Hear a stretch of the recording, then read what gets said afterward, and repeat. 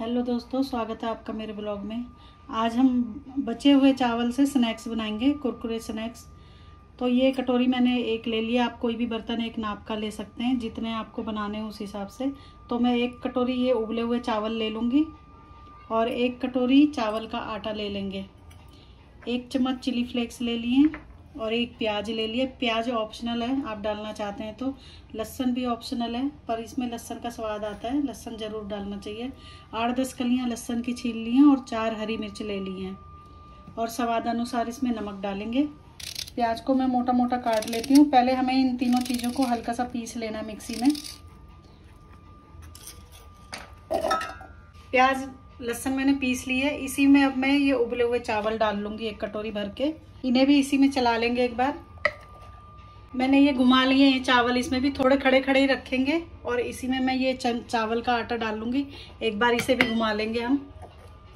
ये सारा मैंने एक बड़े बर्तन में निकाल लिया है और इसमें चिली फ्लेक्स डाल लेंगे थोड़े से। स्वाद अनुसार नमक डालेंगे। मैं एक छोटा चम्मच डाल रही हूँ नमक का। अब इसे हम मसल के एकदम चिकना आटा गूंद लेंगे। जैसे हम रोटी के लिए आटा लगाते हैं ऐसे ही। अगर इसमें कुछ चावल की कलियाँ रह भी गई होंगी तो वो अच्छी तरह मसल जाएँगी इसमें। आटा मैंने गूंद लिया है इसका, हल्का सा रिफाइंड का हाथ लगा दिया है इसमें। और इधर रिफाइंड मैंने गर्म करने के लिए रख दिया है। थोड़ा सा मैंने चकला और बेलने पे भी लगा लिया, हल्का सा चिकना कर लिया इसे रिफाइंड से। तो अब हमें इसे बड़ी सी रोटी बनानी है इसकी एक। चाहे तो आप इसे चावल के आटे के प्रयत्न से बेल सकते हैं, या रिफाइंड का हाथ लगा के ही बेल सकते हैं ऐसे करके। बेलना इसे चकले पे ही है, और हल्के हाथों से बेलेंगे। मैंने बेल लिया है। अब ये मेरे पास एक ढक्कन है, मैं इससे इसे गोल गोल काट लूँगी। आप इसे नमक पारे की तरह भी बना सकते हैं और ऐसे भी बना सकते हैं। तो मैं थोड़े से ऐसे बना लूँगी और थोड़े नमक पारे की शेप में बना लेंगे हम।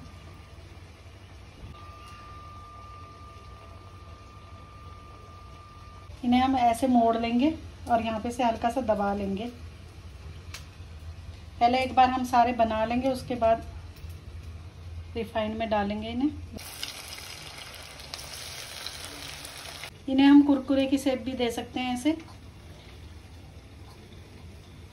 इन्हें हम तो, तोड़ लेंगे इन्हें। ये वाले भी हम डाल लेते हैं इसी में तेल में।